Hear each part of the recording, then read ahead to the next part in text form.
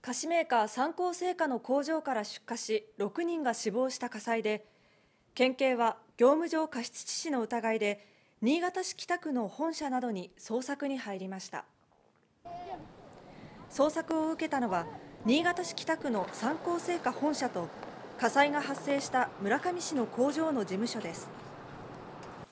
火災は今月11日深夜に発生。これまでに4人の女性従業員の死亡が確認されたほか焼け跡から2人の遺体が見つかっていて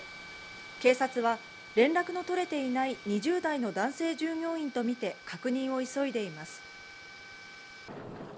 県警は押収する資料を分析するなどして会社側の安全管理に問題がなかったかどうか調べる方針です。